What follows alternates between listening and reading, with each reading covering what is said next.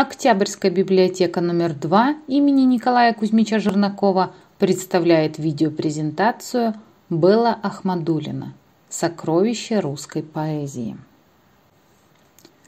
Поэтесса Белла Ахмадулина вошла в русскую литературу на рубеже 50-60-х годов, когда возник беспримерный массовый интерес к поэзии, причем не столько к печатному, сколько к озвученному поэтическому слову. Во многом этот поэтический бум был связан с творчеством нового поколения поэтов, так называемых «шестидесятников». Одним из наиболее ярких представителей этого поколения стала Белла Ахмадулина, сыгравшая наряду с Андреем Вознесенским, Евгением Евтушенко, Робертом Рождественским и Булатом Акуджавой огромную роль в возрождении общественного самосознания в стране в период оттепели. Именно Ахмадулиной выпала нелегкая миссия подхватить поэтическую эстафету из рук великих предшественников, восстановить, казалось бы, навечно распавшуюся связь времен, не дать прерваться цепочке славных традиций отечественной словесности. И если сейчас можно смело говорить о существовании самого понятия «изящная словесность», то это во многом является заслугой Беллы Ахмадулиной перед русской литературой. Изабелла Ахатовна Ахмадулина родилась 10 апреля 1937 года в Москве в семье Надежды Макаровны Лазаревой и Ахата Валеевича Ахмадулина. В поэме «Моя родословная» она, восстанавливая историю своей семьи, пишет «Девичья фамилия моей бабушки по материнской линии, Степани, была привнесена в Россию итальянским шарманщиком, который положил начало роду, ставшему впоследствии совершенно русским – но все же прочно во многих поколениях, украшенному яркой чернотой волос и глубокой выпуклой теменью глаз. Несмотря на смешение итальянской, татарской и русской кровей, своей родиной Ахмадулина, безусловно, ощущала и осознавала только Россию. «Я русская, по чувству и устройству, по матери, по бабушке, по паспорту», мой отец – казанский татарин, ко времени моего рождения обрусевший под влиянием среды и отсутствия соплеменников и собеседников. Выросла Ахмадулина под чутким присмотром русской бабушки Надежды Митрофановны, человека редкой душевной доброты и бескорыстия. Она обожала животных, и вдвоем с внучкой они подбирали бездомных собак и кошек. Позже Белла будет заниматься этим всю жизнь, передав любовь к животным двум своим дочерям – Ане и Лизе – я полностью солидарна с Анастасией Ивановной Цветаевой, которая говорила «Слово «собака» пишу большими буквами», сказала как-то она. Бабушка много читала, и именно с ее голоса бормочущего буря мглою небо кроет, начался для маленькой Беллы Пушкин. Раннее довоенное детство Ахмадулиной проходило в центре Старой Москвы – Моросейка, Покровка, Чистые пруды – Ученические годы в школах Колпачного, а потом Лялина переулков. Стихи она начала писать рано. Уже в детстве сочиняла поэмы и повести, романы, драмы, комедии мемуары, как вспоминала позже. Среди прочих творений было и собственное продолжение «Горе от ума», но все свои детские опыты она называла жуткими и чудовищными. Окончив школу, Ахмадулина, не поступившая на журфак МГУ, Год работала внештатным корреспондентом многотиражной газеты «Метростроевец». Печататься начала в 1955 году, еще до поступления в литературный институт. Она занималась в литературном объединении под руководством Евгения Винокурова при автозаводе имени Лихачева. В мае 1955 года в «Комсомольской правде» появилась подборка стихов участников Литобъединения, в которую вошло и стихотворение Ахмадулиной «Родина». Именно с этого момента начинается отчет ее поэтических публикаций. В том же году Ахмадулина подала документы в Литературный институт имени Горького. Поступление ее было сопровождено восторженным отзывом Ильи Сильвинского, который рецензировал ее стихи. Стихи поразительные, по силе, свежести, чистоты души, глубине чувства. Принять обязательно. Помимо этого официального отзыва Сильвинский обратился к абитуриентке с личным письмом. Вхождение Ахмадулиной в литературу совпало с годами оттепели, когда поэзия пользовалась необыкновенной популярностью. Ахмадулина в эти годы печаталась в газетах и журналах, выступала на поэтических вечерах, участвовала в жарких спорах и дискуссиях в аудиториях и общежитиях литературного института. Ее стихи быстро сделали имя известным. Вместе с Евтушенко, Вознесенским, Рождественским и Акуджавой она оказалась на гребне поэтической волны в конце 50-х, начале 60-х годов. Молодые поэты, эстрадное поколение, как их называли позже, обозначая таким образом не столько поэтический строй, сколько способ общения с читателем, были максималистами, не признавали полутонов, осуждали неискренность в литературе и жизни. Ахмадулина гордо провозглашала мне не пришлось сказать ни слова, ни слова маленького лжи. И она имела право на такие слова. Искренняя, проникновенная интонация, артистизм самого облика поэтессы определяли своеобразие ее исполнительской манеры. Позднее, в 70-е годы, Ахмадулина говорила об обманчивой легкости этих выступлений. По грани роковой, по острию каната. Ее юная жизнь складывалась не только счастливо и беспечно. Причиной этому были и отрицательные, порой грубые оценки ее творчества, идеологическое одергивание и исключение из литературного института в 1959 году в связи с тем, что она отказалась участвовать в травле Пастернака после присуждения ему Нобелевской премии. В тот трудный год Ахмадулиной помог главный редактор литературной газеты «Смирнов», предложивший ей стать внештатным корреспондентом литературной газеты в Сибири. Но все же это было время оттепели, и вскоре Ахмадулина была восстановлена в институте, где защитила дипломную работу «Стихи и переводы». С тех пор она неоднократно обращалась к переводческой деятельности, сделав великолепные поэтические переводы с грузинского, армянского, абхазского, чешского, польского, сербского, хорватского, французского и итальянского языков. В 1962 году в издательстве «Советский писатель» вышел первый поэтический сборник Беллы Ахмадулиной «Струна».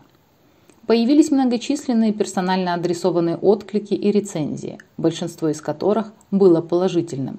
Тогда же, после выхода первого сборника, Ахмадулину приняли в Союз писателей. Интересна и другая грань таланта Беллы Ахмадулиной. Она приняла участие в съемках фильма Марлена Хуциева «Застава Ильича», где читала свои стихи в сцене поэтического вечера в Большой аудитории Политехнического музея. А в 1964 году снялась в роли журналистки в фильме Василия Шукшина «Живет такой парень». Лента получила «Золотого льва» на кинофестивале в Венеции – Кино впоследствии еще не раз всплывет в ее жизни, например, в виде песен на ее стихи в фильмах «Достояние республики», «Ирония судьбы» или «С легким паром», «Служебный роман», «Жестокий романс». Ахмадулина читала свои стихи за кадром в фильмах «Чистые пруды», «Спорт, спорт, спорт», «Венок сонетов». Второй отечественный сборник Ахмадулиной «Уроки музыки» появился в 1969 году и получил гораздо меньше откликов в прессе, чем первый, хотя явился значительным событием в ее творческой жизни и свидетельствовал о развитии поэтического дара. В 1970-е годы вышло еще несколько книг Ахмадулиной «Стихи», «Свеча» и «Метель». Это были годы окончательного становления, когда произошло то, что позволяет говорить об эволюции лирического «я» Ахмадулиной, о совершенствовании ее индивидуального стиля. Единственный большой однотомник ее стихов «Сны о Грузии» был издан в Грузии, горячо любимом ею крае, где у нее было много друзей и знакомых, поддерживающих ее в трудные годы. Анализируя творческий путь Беллы Ахмадулиной, можно достаточно определенно разделить его на три этапа. Первый этап, который условно можно назвать «начальная пора», завершается поэмой «Моя родословная». Второй «Пора становления» хронологически заканчивается участием в неподцензурном литературном альманахе «Метрополь», в котором Ахмадулина в 1979 году опубликовала сюрреалистический рассказ «Много собак и собака», и, наконец, третий этап «Пора зрелости» открывает большое стихотворение «Мы начали вместе. Рабочие, я и зима». Еще в первом сборнике четко обозначились ведущие темы поэзии Беллы Ахмадулиной – дружба, творчество, природа. На протяжении всего творческого пути ей было свойственно требовательное отношение к слову, как выразителю поэтической и жизненной позиции – не случайно ее лирическую героиню характеризует душевная сосредоточенность, самоанализ. Эти качества отличали поэзию Ахмадулиной от громкой, открытой публицистичности Евтушенко, Вознесенского и Рождественского, хотя всех их объединяло чувство движения времени, острое ощущение новизны.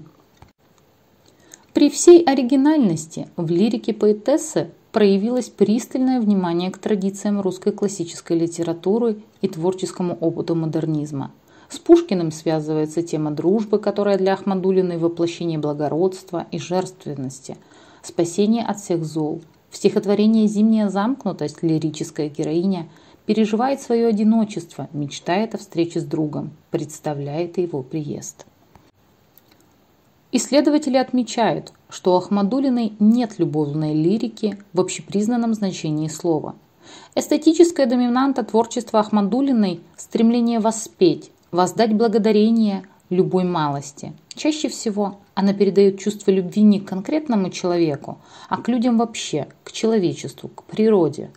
Друзья поэтессы утверждали, что, будучи хрупкой и нежной, она обладала твердым, независимым характером и огромной внутренней силой. Мотив одиночества у Ахмадулиной тоже центральный. И здесь, несомненно, сильно влияние Лермонтова – Одиночество неизбежно, оно воспринимается лирической героиней как неотъемлемая составляющая судьбы поэта. Значительный след в поэзии Ахмадулиной оставило творчество Марины Цветаевой. Искусство и время, творчество и бытие – эти вопросы никогда не покидали Цветаеву, они же стали одними из главных в лирике Ахмадулиной.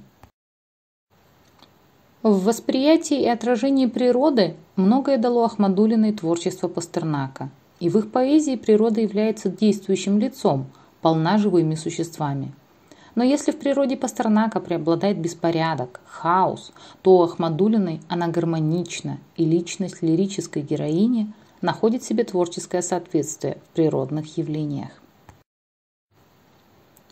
Возвышенная лексика, метафоричность, изысканная стилизация старинного слога, музыкальность и интенционная свобода стиха делали поэзию Ахмадулиной легко узнаваемой. Сама стилистика ее речи являлась бегством от современности, срединности, обыденности, способом познания идеального микрокосма, который Ахмадулина наделяла своими ценностями и смыслами. Выступления Ахмадулиной собирали полные залы, площади, стадионы, Особенным был не только голос поэтессы, но и ее художественный стиль. Была Ахмадуллина использовала в текстах интересные метафоры, писала слогом золотого века. 1980-е годы были наиболее трудными в судьбе Ахмадулиной. Они отягощены для нее многими трагическими обстоятельствами. Сборники «Тайна» и «Сад» свидетельствуют о сложных переживаниях, во многом изменивших ее творчество. Жесткая цензура, уменьшение тиражей ее книг, а в некоторые годы и вообще отсутствие ее произведений в печати, потеря друзей, оказавшихся в эмиграции. Годы перестройки вызвали некоторые изменения и в поэтической судьбе Беллы Ахмадулиной. Появилась возможность опубликовать задержанные цензурой стихотворения, в том числе и христианского содержания. Стали чаще выходить ее поэтические сборники. В 1997 году к юбилею Ахмадулиной вышел трехтомник ее сочинений, включивший, кроме стихов, прозу, переводы, воспоминания, статьи и выступления, поэтические посвящения. В последующие годы неоднократно выходили сборники ее стихов. Была Ахмадулина, безусловно, была женщиной вне времени и вне пространства, поэтессой со своим стилем, своим голосом и совершенно неподражаемой манерой чтения стихов, которую узнаешь из тысячи. Сокровищем русской поэзии назвал поэт Иосиф Бродский Беллу Ахмадулину. Ее творчество стало одним из самых ярких и значительных явлений в русской словесности второй половины XX столетия. Это было время возрождения советской поэзии. Предлагаем вашему вниманию библиографический список по данной теме.